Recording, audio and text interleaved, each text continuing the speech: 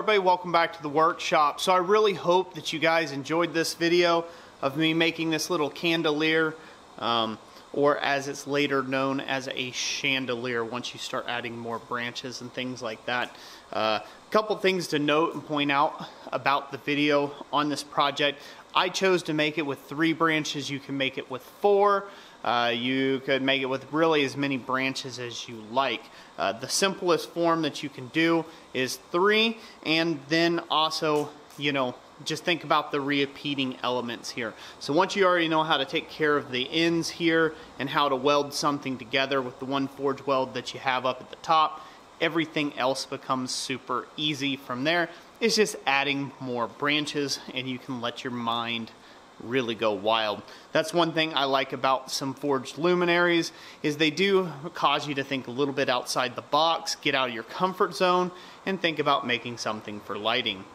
Now, who is this for? This is purely an outdoor decoration or an indoor decoration with a lot of adult supervision. So you do it was common in history that houses did burn down from time to time because of a candle left by a bedside somewhere or and or you know one of these drip fell off hit a carpet and boom right envelop somebody's home. So you definitely don't want to do that. This is great if you want to have a bunch of these maybe in your barn um, for when you're doing parties assuming it's not like a hay barn like if you have an entertaining place that you have a gazebo um, it could be inside your house on some nice hooks away from the walls with a good enough space and constantly monitored as well. Obviously the light source on this is not going to be as good as a regular modern light bulb so that is something to take and keep in mind if you do plan on making these as lighting fixtures. One quick note about if you ever plan on selling something like this to a customer, you need to make it very, very clear that you are not held responsible or liable for anything they choose to do with this as far as lighting this up.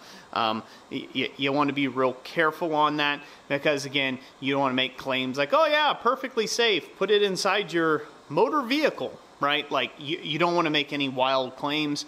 You want to make sure that you stay as hand off and as stupid free as possible if you can.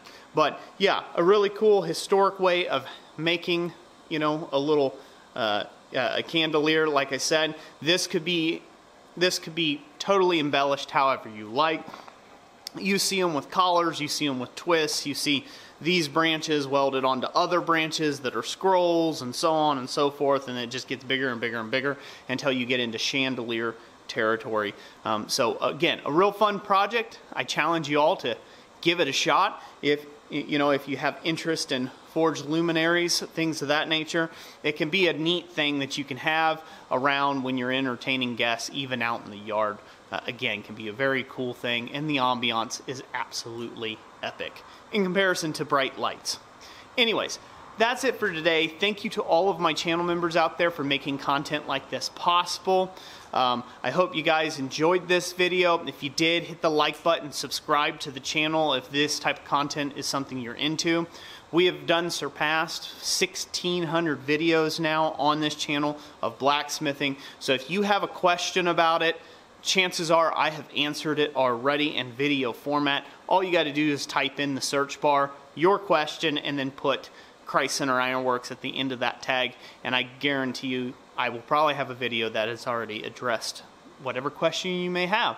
So I hope that'll be helpful to you. Again, thank you to all the channel members. God bless each and every last one of you. We really couldn't do it without your support. And uh, till next time, we'll catch you all in the next one. Thank you so much for watching.